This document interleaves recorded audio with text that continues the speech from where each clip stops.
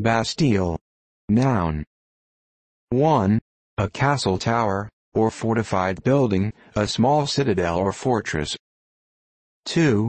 A prison or jail.